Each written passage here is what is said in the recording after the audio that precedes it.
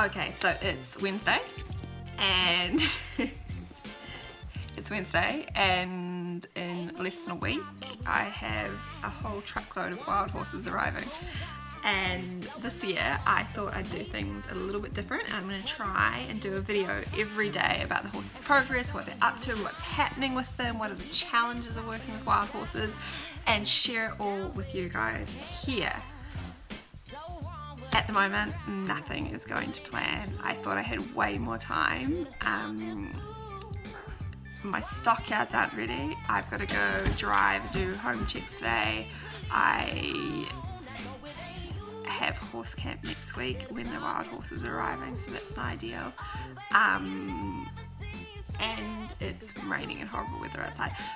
But it's all solvable, it's not a disaster, it's all going to work out I'm sure, but it's definitely time to get busy.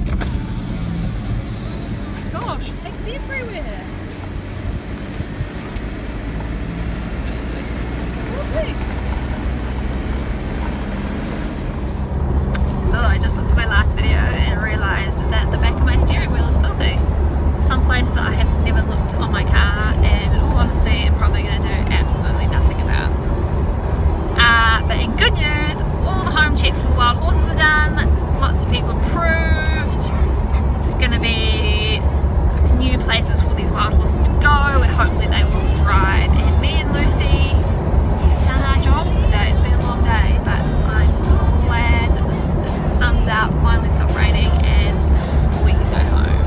Yay! Everything is not what it seems, boy. You should be running from me. I gotta go to church on Sunday, and I bet you're gonna call me crying, saying you pray